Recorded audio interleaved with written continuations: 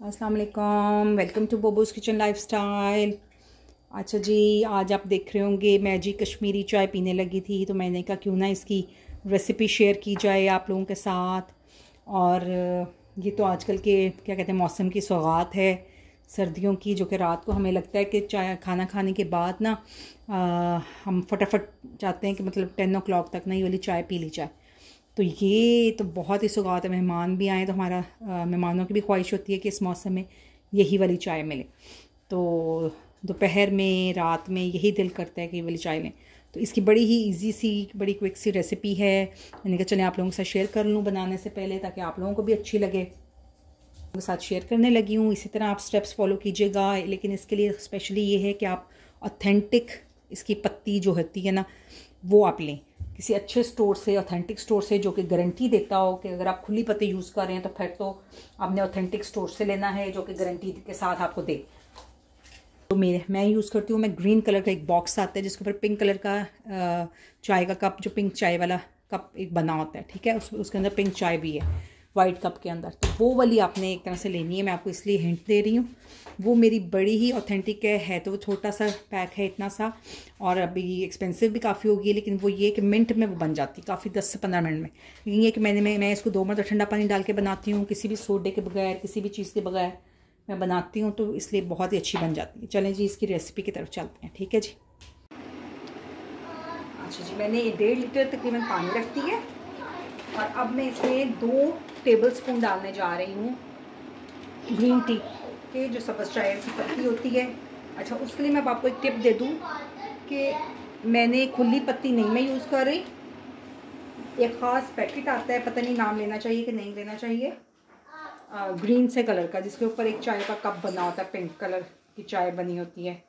वो वाला मैं यूज़ करती हूँ तो सबसे परफेक्ट कलर टेस्ट खुशबू। हर चीज़ आपको फील होगी कि इतनी परफेक्ट आपने कभी भी नहीं यूज़ की होगी। इसलिए थोड़ा सा ज़्यादा डाल रही हूँ कि वो पहला वाला हीप नहीं था। अच्छा उसके साथ अब मैं जो मसाला यूज़ करने जा रही हूँ, ये देखिए जी। ये दो बादे खताई के फ्लावर्स हैं और तीन इलायचियाँ हैं और दो दारचीनी के टुकड़े हैं, ठीक है? ये सब कुछ इसके साथ चला जाएगा। तो बहुत ही अच्छा टेस्ट आ जाता है। अगर आप कहीं खुली पत्ती यूज़ करें तो आप प्लीज़ ट्राई करें कि ऑथेंटिक जगह की हो और बड़ी ही अच्छी शॉप हो जो कि गारंटी देता हो कि पिंक चाय है जो एक स्पेशल कुछ लोग दे रहे हैं मुझे भी पता है। बट मैं कभी वो क्या कहना चाहिए रिस्क नहीं लेती तो मैं वो एक ख़ास डब्बा जो है ग्रीन कलर का मैं वही वाला ही लेती ये वाली पिंक कश्मीरी चाय बनेगी जी आधे घंटे में without any soda without any क्या कहना चाहिए शॉर्टकट किसी भी चीज़ के बगैर। ये सिर्फ़ इन्हीं चीज़ों में सिर्फ़ अब ट्राई ये करना है कि ये आ, ये हम मैं तकरीबन पंद्रह से बीस मिनट इस तरह हाई फ्लेम पर पका रही हूँ और इसके बाद मैं दो कप पाँच पाँच मिनट के वक्फे से ठंडा पानी ऐड करूँगी, वो मैं आपको दिखाती हूँ। अभी मैं इसको पंद्रह मिनट के लिए बंद करी हूँ ताकि ये हाफ़ रह जाए। ठीक है जी? उसके बाद मिलते हैं। ऑलमोस्ट फिफ्टीन मिनट्स हो चुके हैं तो मैंने अब थोड़ा सा इसमें ठंडा पानी डालने जा रही हूँ और फिर मैं इसको मज़ीद टेन मिनट्स पका रही हूँ। है, उससे पहले इसको अच्छी तरह फेंटना बहुत ज़रूरी है, ठंडा पानी ऐड करने के बाद। अच्छा जी, इसको मैंने जी जल्दी जल्दी फिर फेंटना शुरू कर दिया। अच्छा सा इसको, जितना अच्छा कलर आप चाहते हैं, उतनी देर आपने इसको बड़ी पेशेंटली बड़ी सब्र के साथ इसको आपने अच्छा इसको घुमाना है, फेंटना है अच्छा सा तो फिर ही अच्छा कलर आएगा। देखें ये जब रेडिश ब्लैकिश रेड कलर जब आपका आएगा ना, तब ये आपका परफेक्ट कलर होगा। इसलिए मैंने एक गिलास आपको पानी ठंडा वाला डाल के दिखा दिया अब इसके बाद, उसको फेंटने के बाद मैंने पाँच मिनट मज़ीद पकाया और उसके बाद मैंने फिर से ठंडा पानी बीच में ऐड किया। फिर से उसको दस मिनट मैंने इसको अच्छा सा इसी तरह इसको हल्का सा मतलब चम्मच चलाती रही थी मैं ये फेंटती रही थी। तो देन मेरा बहुत ही अच्छा ये देखिए मैंने ढक के इसलिए रख दिया। उसके बाद मैंने फिर से निकाला और फिर मैंने बड़ा ही अच्छा कलर बीस मिनट पका लिया और मैंने दो बार पानी डाल लिया। एक बार मैंने आपको दिखा दिया था एक बार मैंने नहीं दिखाया। मैंने कलर चेक करें आप कितना मज़े का खूबसूरत कलर आया है। सिर्फ़ ये कि आधे घंटे का सब्र है बस। इसको बनाने में। और बाकी ये है कि आ, कोई इसमें सोडा नहीं डाला कुछ नहीं डाला। मैं आपको सिर्फ़ इसमें दूध ऐड करूँगी। और ये बहुत ही ज़बरदस्त इसका कलर आ जाएगा।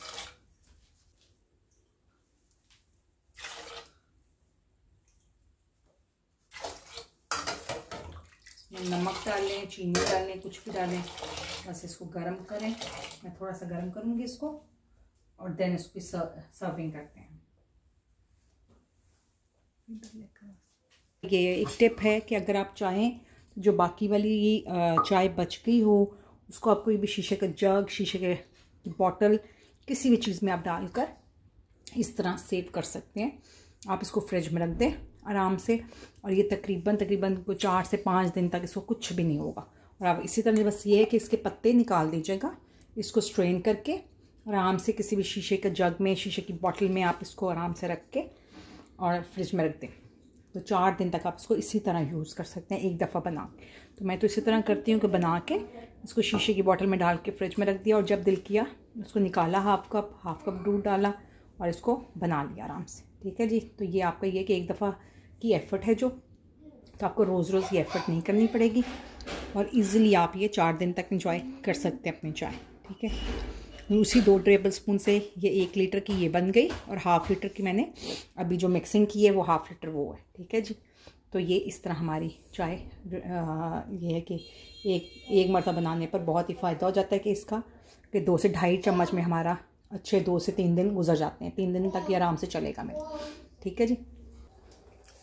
ये लीजिए जी गर्मा गर्म चाय विद लॉट्स ऑफ़ हमारे गर्म मेवाजात ड्राई फ्रूट के साथ बहुत ही मज़े का ये सर्दियाँ इंजॉय करने का ऊपर डालेंगे। जी हम पिस्ता बादाम।